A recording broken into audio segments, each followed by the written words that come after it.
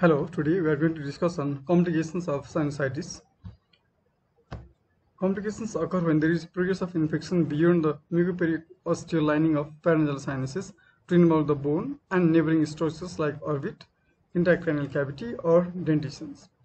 Etiology is when there is weak immune response of host like young children and immunocompromised individuals like diabetic, HIV, tuberculosis. It's when there is inadequate or inefficient treatment by short course of antibiotics only, infection by highly virulent organism like fungus or like strong bacteria, then abnormal mucociliary clearance when there is persistent blockage of the uh, sinus ostia.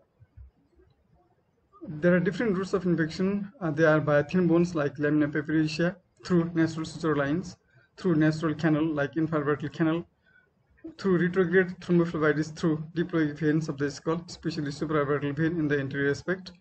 Uh, closely related roots of upper second premolar and first molar teeth. They have direct communication with the maxillary sinus. Then periarterial species of Breschet they are also common causes for uh, taking out the infections. The complications can be classified into acute and chronic complications along with associated diseases Acute complications are local complications like orbital, intracranial, bony, and dental we'll be describing later on. Then distant complications like toxic shock syndrome, which is also very not uncommon. Amongst chronic complications, mucocele and pyocele are common, and associated diseases like otitis media, adenotonsillitis, and bronchiectasis when the infection spreads beyond the uh, nose to ear, throat, or towards the lungs or bronchus. Orbital complications by the way are the most common complications of sinusitis, especially from the ethmoid sinusitis. It was described by Chandler et al. in 1970. Uh, first is pre-septal cellulitis, then orbital cellulitis without abscess, orbital cellulitis with extra or subperiosteal abscess, orbital cellulitis with intraperiosteal abscess, and cavernous sinus thrombosis. Intracranial complications can be classified into meningitis, encephalitis, extradural abscess, subdural abscess, intracerebral abscess, cavernous sinus thrombosis and sagittal sinus thrombosis. Uh,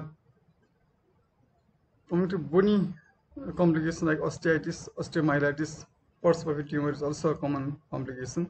Then dental complications like dental abscess and oroantral fistula are also not uncommon.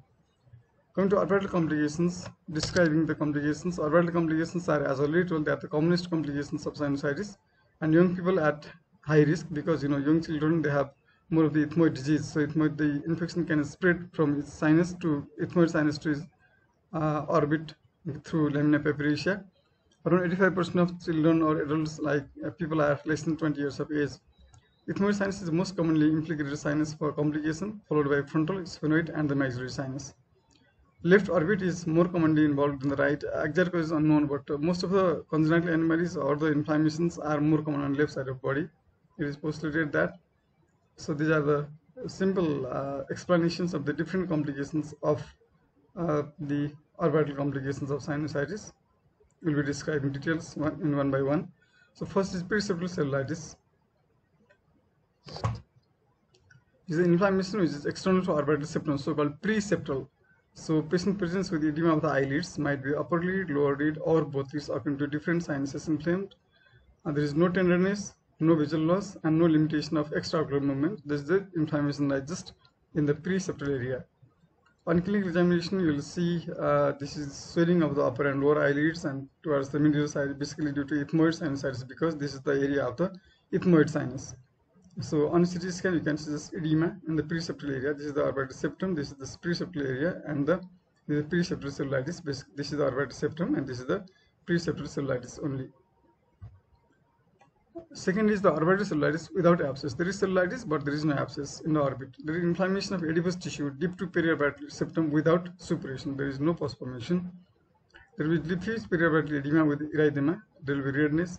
There will be mild proptosis, and there will be no restriction of extraocular movement and no change in vision. So up to this, there will be no change in vision. So uh, patient's vision will be all right. There will be just see this is the orbital cellulitis without abscess cellulitis of the orbit. There is red, redness in the eyes in the uh, area.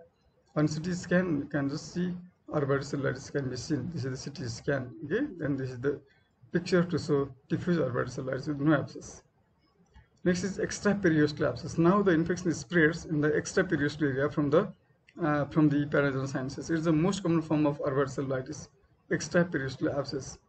It is localized extraperiosteal pus collection is there. There will be on examination there will be mild proptosis, restriction of extraocular movement, and visual uh, acuity loss. So by extraperiosteal abscess there will be loss of some form of vision. Basically, color vision is affected first. The red and blue color blindness will be there. So this is the picture showing extraperiosteal abscess. This is the periosteum and the pus has been uh, present in the extraperiosteal area with minimal pressure to the soft tissues and the orbital, uh, the optic nerve. So minimal pressure. So that leads to some form of vision. Basically, color vision is affected at first. You can see that this is the extraperiosteal abscess. The infection has spread from the ethmoid sinuses to the orbit extraperiosteal part. Now comes with intraperiosteal. Now the infection spreads from the extraperiosteal to intraperiosteal area so this is mild, there will be mild chemosis with edema of conjunctiva. Proptosis will be severe, asymmetric and quadrantic. This is different. This is the important difference from cavernous sinus thrombosis. You should know this. The severe, asymmetric and quadrantic proptosis is the feature of cellulitis with intraperiosteal abscess. So this depends on different sinuses. Frontal sinus, as you know, is superior aspect. So this leads to downward and forward and lateral deviation. Ethmoid sinus leads to forwards and lateral deviation. Forwards is, has to be common. The maxillary sinus leads to upwards and forwards. There will be concurrent and complete ophthalmoplegia and visual loss due to optic neuropathy. Up to 13% of cases uh, will be found.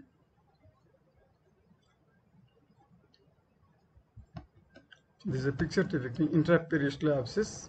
You can see here uh, there is the inflammation has gone beyond the periosteum, in, in, intraperiosteal and this is compressing on the optic nerve so patient will have some form of visual again visual loss and there will be conjunctival chemosis okay there will be exophthalmos okay? Eyelid displaced. So this is the congestion, congestion of the eyes. Now comes the cavernous sinus thrombosis the which is the one of the dangerous complication of sinusitis. The rapid onset and active fever. Be bilateral orbital pain and severe chemosis. This is the typical feature of cavernous sinus thrombosis to have bilateral uh, pathology. The bilateral absent pupillary reflex, bilateral asymmetrical axial proptosis will be there, and there will be sequential ophthalmoplegia starting from sixth nerve to third to fourth nerve. There will be papilledema with loss of vision. This is the important uh, finding in cavernous sinus thrombosis bilateral. The painful paresis of the V1 and V2 will be there. As in this is cavernous sinus, there is cavernous sinus thrombosis. There will be bilateral chemosis and proptosis seen in cavernous sinus thrombosis. There will be symmetrical proptosis, okay, and there will be bilateral conjunctival chemosis. How to differentiate cavernous thrombosis from orbital abscess? Cavernous thrombosis is bilateral condition. As you know, it presents bilaterally with, with axial proptosis symmetrical. You know, orbital abscess will be unilateral. There will be cavernous thrombosis, rapid progression will be there, and orbital cellulitis is slow progression. Hectic fever is the feature of cavernous sinus thrombosis, and low-grade fever is the feature of orbital cellulitis. Severe chemosis is the feature of cavernous sinus thrombosis, while mild chemosis is the feature of orbital cellulitis. Paresis of V1 and V2 is there, and there is no paresthesia. Sequential ophthalmoplegia with 6th, 3rd, 4th nerve. Concurrent panophthalmoplegia is a feature of orbital cellulitis. A symmetrical axial proptosis uh, is the feature of cavernous sinus thrombosis, and orbital abscess there will be asymmetric quadrantic quadrantic proptosis.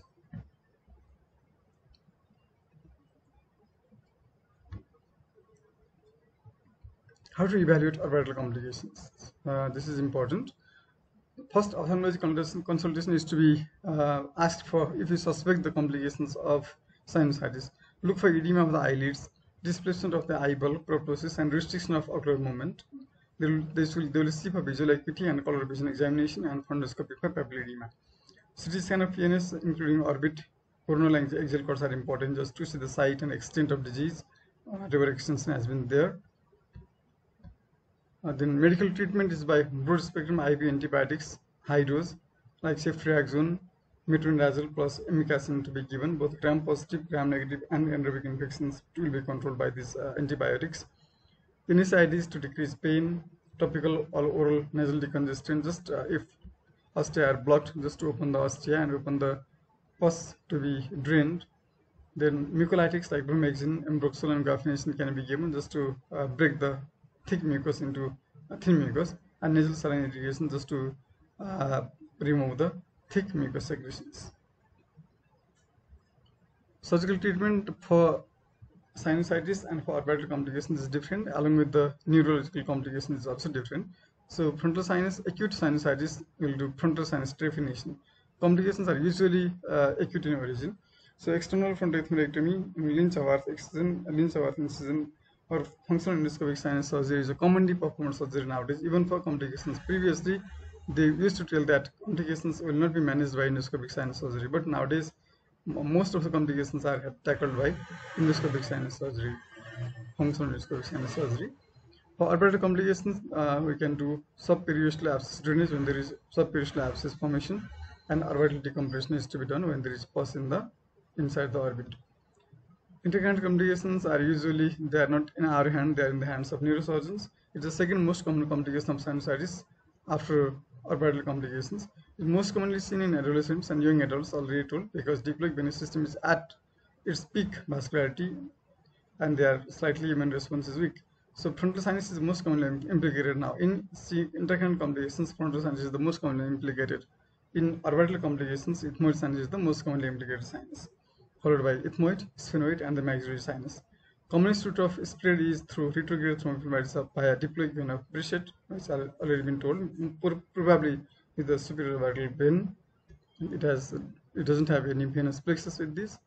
So intercranial complications might happen already told. They start from the meningitis, extradural abscess, sub extradural abscess, subdural abscess, brain abscess, H. So clinical features are patients uh, with fever, deep seated headache, nausea and projectile vomiting, neck stiffness, seizures, altered sensorium and mood changes, and lately patient might have bradycardia, hypotension, and stupor. This frontal lobe abscess is a common finding on CT scan when the infection is infection spreads from the frontal uh, sinus to the brain. Okay, it is seen in axial cords and the coronal cords. You can see the abscess here in the frontal sinus. Uh, investigations and medical treatment, basically neurosurgery consultation is to be given. CT scan of PNS with brain with contrast can be given and MRI with contrast is investigation of choice because the, when the infection is towards the brain, then MRI is the good investigation. But when the infection is uh, in the paranasal sinuses or to orbit, then CT scan of PNS is uh, important investigation of choice. High dose broad IV antibiotics to be given, along ceftriaxone, metronidazole for 4 to 6 weeks, a long time steroids, uh, the role of steroids is controversial, can be given, but as you know, the infection is uh, there, so infection might spread if you use steroids, so it is still controversial role. Surgical treatment for sinuses.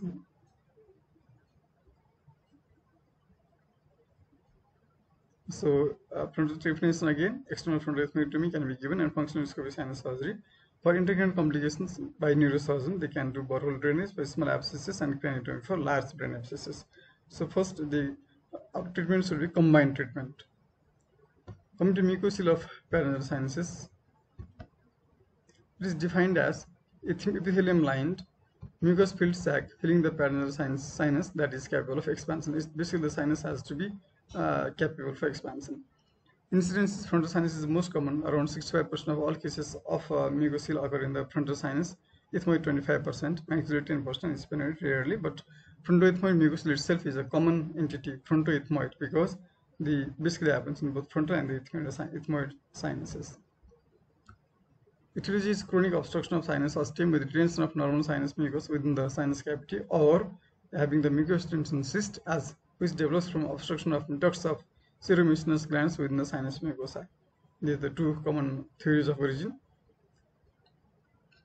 It will be cystic, non-tender swelling of of the inner canthus with eggshell crackling sensation and palpation. And proptosis will be there. In frontal sinus, there will be downward and forward and lateral, ethmoid forwards and lateral, and maxillary up and forward as already told. So diplopia and restricted eyeball movement will be there, along with frontal headache, retroradial pain or facial pain will be there. So this is the mucocele that you can see. This is the frontal mucocele. So usually frontal ethmoid mucoceles. This is the typical frontal mucocele that you can see in the entry aspect. So investigations for mucocele are X-ray PNS occipitomental view, which is not commonly performed nowadays. Uh, you can see expanded frontal sinus, loss of scalloped margins of the frontal sinus, translucency test will be positive, either be depression or erosion of the ridge if, if palpate over there. CT is a good investigation of choice, so it's a homogeneous, smooth walled mass, expanding the sinus with thinning of bone will bring enhancement on contrast if there is pyocele.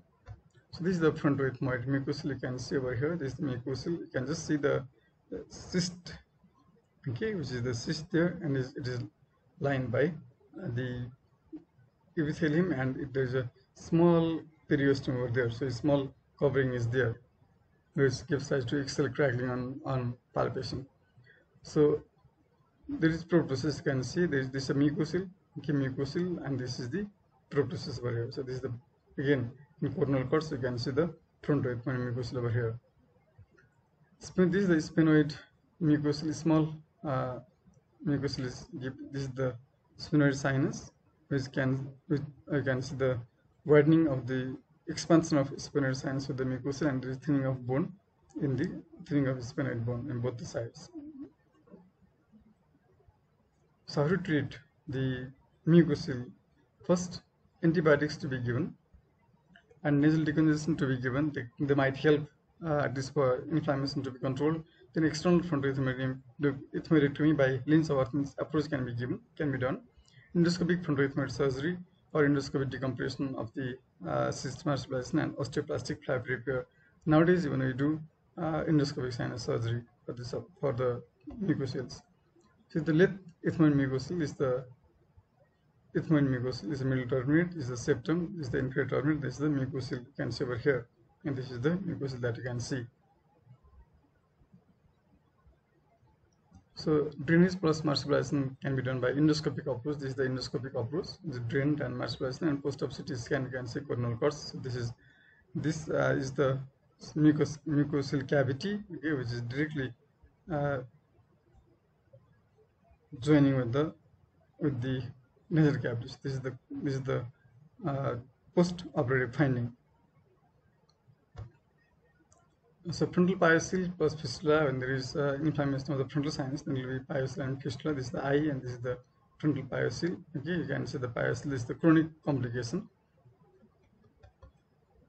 Then osteoplastic flap repair for frontal sinus mucocele is done. Is osteoplastic flap, and just the uh, sinus is opened and is drained. This is the mucocele of the frontal sinus. Going to Pott's Puffy tumor. Pott's Puffy tumor is the frontal sinus osteomyelitis after chronic sinusitis. Okay, so it, is, it was described by Percivall Pott in 1760 it gives a fluoxetine swelling over forehead anteriorly, which may spread posteriorly leading to subdural abscess. So it involves both the walls of the frontal sinus. So treatment is by six-week course of broad-spectrum IV antibiotics, long course, drainage of pus and debridement of the bone, and obliteration of frontal sinus by osteoplastic flap technique itself. It's a Pott's puffy tumor that you can see over here. This is the Pott's puffy tumor, puffy tumor, Pott's puffy tumor. Okay. So parental fistula is also uh, not an uncommon finding. It's a fistulous tract communicating between oral cavity and maxillary antrum. Treatment is done by closure by buccal mucosal advancement flap or palatal flap or by buccal pad pad flap. So this is the um, you can see this is the hole over here. Okay, you can see a hole. This is the oroantral fistula. So on CT scan you can see a fistula tract over here. This is the maxillary sinus. This is the oroantral fistula. This is the oral cavity. So treatment is by buccal mucosal advancement flap. Buccal mucosa has been advanced to the uh, hole, okay, to the sinus fistulous tract, and again buccal pad pad, buccal pad pad pad is being manipulated onto the position. So this is the surgical surgical uh, picture of endocorental fistula. Going to last slide, toxic syndrome, which is rare, potentially fatal complication of sinusitis leads to it is a septicemia due to Staphylococcus aureus or Staphylococcus infection. Clinical features it presents with fever, hypertension, skin rashes with discoloration, toxic shock, multi-system failure. Treatment is by IV ceftriaxone 1 gram 3 times a day and fist and drainage of the pus from the sinuses. So once the sinus infection is controlled, then toxic syndrome should be controlled. Basically, is a systemic complication of sinusitis. Thank you so much. Please subscribe my my uh, YouTube channel, Dr. Krishna Koirala, for further videos of the classes. Thank you.